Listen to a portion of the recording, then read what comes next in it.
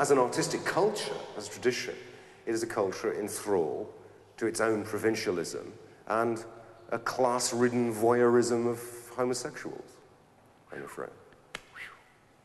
Provinzialismus, Exzentrik, schon immer gab es solche provokanten Nestbeschmutzungen britischer Kunst, wie hier durch Art and Language, übrigens auch in Stuttgart vertreten.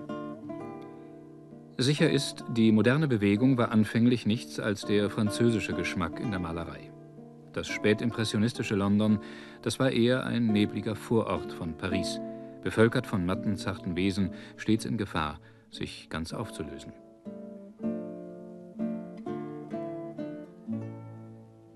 Immer wieder Porträts, immer wieder Landschaften, sogar im abstrakten Impressionismus eines Graham Sutherland.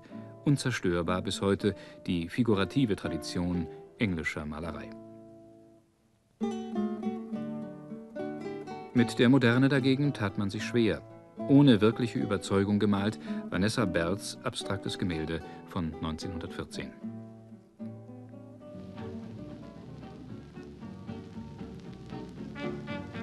Und dann die erste wirklich entschlossene Avantgarde, Englands Kubisten und Futuristen. Es spricht für den Moralismus dieser Moderne, dass sie angesichts der Schrecken des Ersten Weltkrieges ihre besten gegenständlichen Werke malte. Wir Künstler sind müde der Destruktion in der Kunst, erklärten Lewis, Paul Nash und Stanley Spencer. Ohne Zweifel, sie sind die eigentliche Überraschung dieser Ausstellung. So eigentümlich elegisch, kraftvoll pathetisch und ganz ohne Parallelen in der Kunst des Festlands, das ist keine provinzielle, das ist eine wirklich britische Kunst, die zum Besten der Malerei im 20. Jahrhundert gehört. Vor allem Stanley Spencer, exzentrischer Sonderling. Religiöse Visionen im Alltag seines Heimatortes, der Müllmann oder die Liebenden.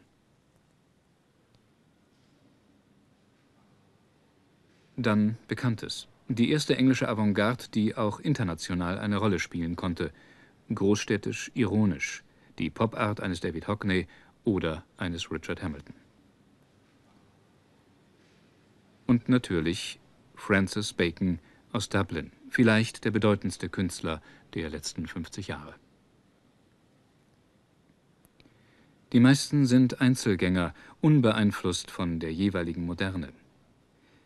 Die Stuttgarter Ausstellung endet mit den Jungen der 70er Jahre und die Gegenwart ich bin auch der Meinung, dass alte Künstler, also manchmal Francis Bacon, immer noch relevant sei. Und dass junge Künstler, ich glaube, viele Kunstkritiker und viele Leute in das sogenannte Kunstgeschäft setzen so viel Wert auf ganz neue Kunst. Also Kunst, was gerade vor einem Monat oder vor einem Jahr plötzlich hervorgebracht äh, war, dass man natürlich, äh, oh, natürlich, das ist sehr interessant, man muss natürlich immer beobachten, was so passiert.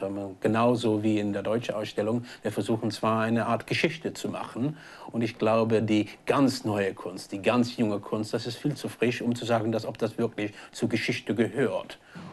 Vielleicht nicht zur Geschichte gehörig, deshalb nicht in Stuttgart, aber doch Großbritanniens Beitrag zur nächsten Biennale in Venedig, Tony Craig, ausgestellt derzeit in London. Diese Zuckerrüben sind in Wahrheit aus Bronze. Raffinierte Verfremdungen des Materials machten den 38-Jährigen aus Liverpool, seit zehn Jahren in Deutschland, zum neuen Großmeister der englischen Plastik. Ganz aus Plastikmüll auch das monumentale Wandrelief einer Straßenschlacht. Ganz plötzlich, kaleidoskopartig, stürzen die scheinbar reizlosen Alltagsobjekte zu einem sinnvollen Ganzen zusammen. Aus Gummireifen, Metall- und Betonringen entsteht eine fantastische Kathedrale, assoziationsreicher Kontrast zu Londons Silhouette. Das ist Bill Woodrow, vielleicht der eigenwilligste der neuen Bildhauergeneration. Gegrillte Steaks und Feuer, alles aus Blech, sein Markenzeichen. Flammen und Wasserstrahl in einem zeitlosen Augenblick. Seine Objekte verkaufen sich gut, doch er sieht sich nicht nur als Produzent für den Kunstmarkt. Auf der nächsten Documenta wird diese Harfe übrigens zu sehen sein. No, I'm not just an object maker. Um because I think through making my sculpture, and not objects, but sculpture, um, I would discover my own personal politics, my own feelings, my own views about my environment, my world. and those views can be viewed as political. Politisch oder nicht, die aktuelle britische Kunstszene hat sich entscheidend geändert, seit der Kunstsammler Charles Saatchi sein Privatmuseum in London eröffnet hat. Der öffentlichkeitsscheue Werbegigant kauft nicht nur Kunst, immer öfter entscheidet er auch darüber, so wenn er ganze Ausstellungen junger Künstler aufkauft. Hierher ins Londoner East End wird er sich dagegen kaum verirren. Dabei gibt es gerade hier, wo prozentual die meisten britischen Künstler leben, wirkliche Entdeckungen.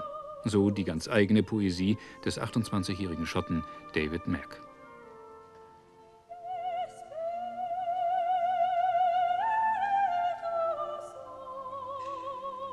Auch er schon entdeckt und vermutlich bald vermarktet von einem Mann, der als erster der jungen britischen Kunst zum internationalen Durchbruch verholfen hat.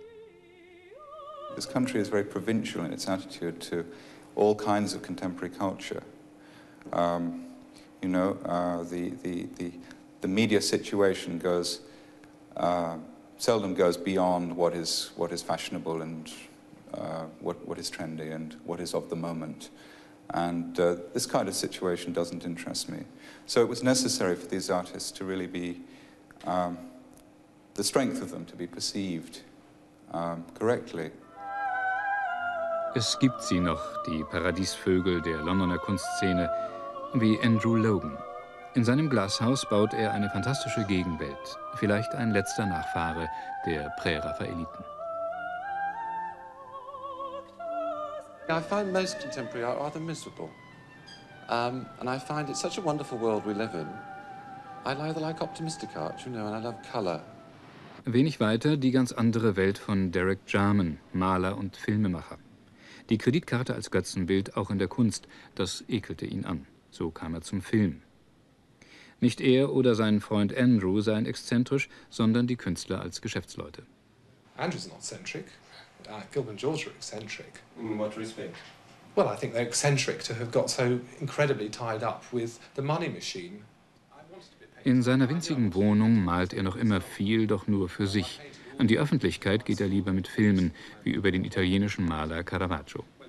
Wie ein Mönch lebt er, sehr mittelalterlich, sehr englisch, viele Bücher von Shakespeare und der schwarzen Romantik. Soeben hat er seinen neuesten Film beendet, The Last of England. Was ist für ihn britisch?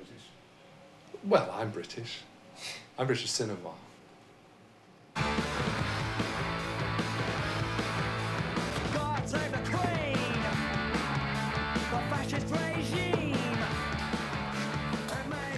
What is British?